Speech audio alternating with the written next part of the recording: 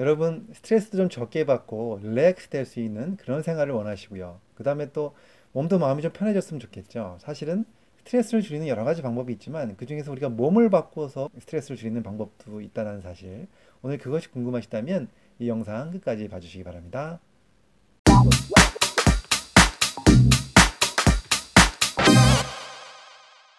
안녕하세요. 가정의학과 전문의 만성피로 스트레스 전문가 이동환입니다. 저는 이제 환자분들이 병원에 오시면요. 여러 가지 그 피로에 대한 것들 체크하게 되는데 그 중에서 제가 제일 먼저 체크하는 부분이 하나 있습니다. 뭘까요? 그렇습니다. 그분이 몸의 근육 상태가 어떤지 좀 보는 경우가 많아요.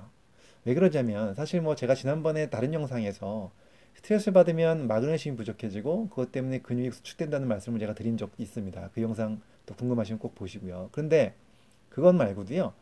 어, 사실 이 스트레스와 근육의 연결성에 대한 굉장히 많은 또 이야기들이 있습니다. 그래서 어, 스트레스를 받으면 자율신경계가 활성화되고 그러다 보면 근육이 또 수축이 되거든요. 그럼 자꾸 근육이 굳게 되는데 그때 중요한 게 이 근육을 풀지 않으면 스트레스를 더 받게 된다는 사실입니다.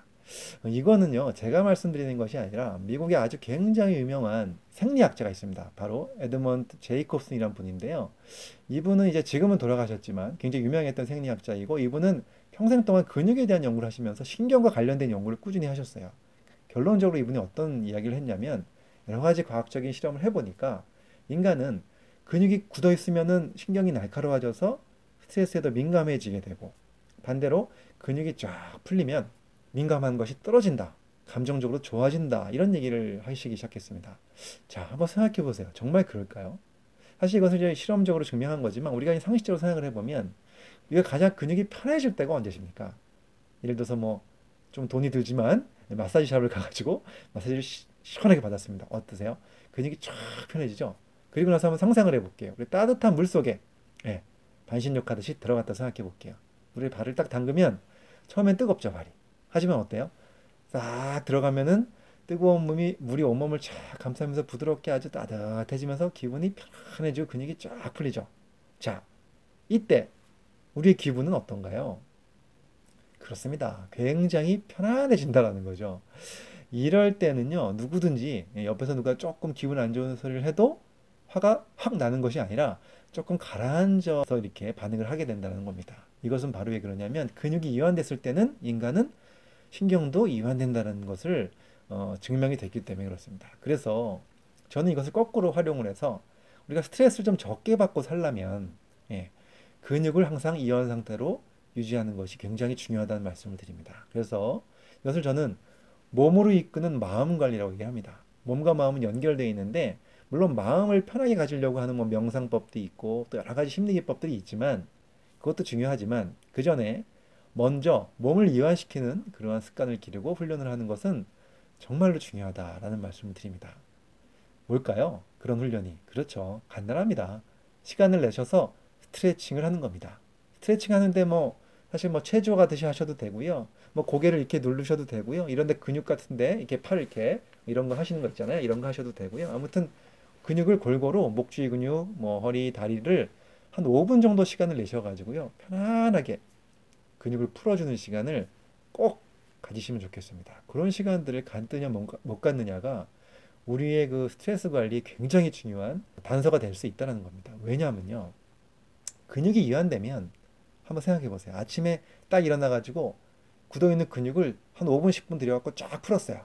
그 어깨가 시원해지고 목도 좀 시원하고 근육이 이완된 상태에서 출근을 합니다. 어떨까요? 그렇죠. 당연히 그런 때는 신경도 좀 가라앉아져 있고 조금 스트레스 받는 상황이 나와 있어도 좀 느긋한 마음으로 맞이할 수가 있습니다. 반대로 근육이 잔뜩 굳었어요. 그 상태로 그냥 아침에 이렇게 출근해요. 급하게. 그래가지고 바로 일하러 들어갑니다. 어떨까요? 그때는 조금만 안 좋은 일이 있으면 바로 그냥 신경으로 날카롭게 올라올 수밖에 없는 겁니다. 그래서 우리는 항상 몸으로 먼저 어, 이완을 시키면 어, 마음도 이완된다. 이 사실을 꼭 기억하셨으면 좋겠고요. 사실 저는 이거 환자들한테 스트레칭을 굉장히 많이 권유드리고 있습니다. 그런데 신기한 건요. 스트레칭을 열심히 하시는 분과 안 하시는 분이 굉장히 치료의 결과에 차이가 있다는 사실입니다. 물론 스트레칭을 열심히 하시는 분들이 굉장히 훨씬 더 빠르게 좋아진다는 거죠. 과연 왜 그럴까요? 물론 근육을 풀어서 신경이 안정되는 것도 있지만 또 하나가 있습니다.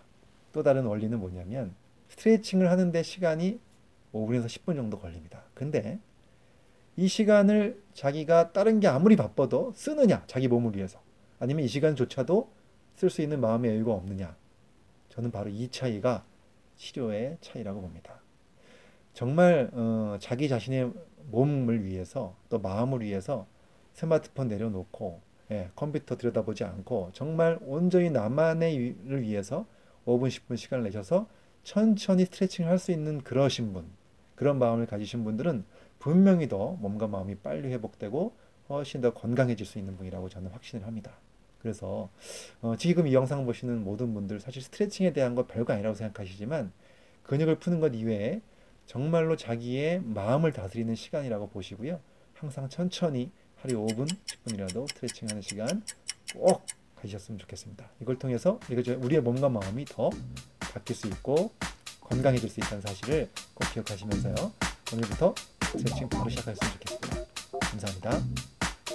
이 강의가 도움이 되셨다면 좋아요, 구독, 알림 신청 해주시면 감사하겠습니다.